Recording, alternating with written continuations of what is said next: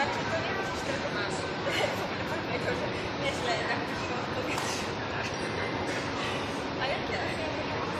Ty měla šlo mě za bardzo sztywne.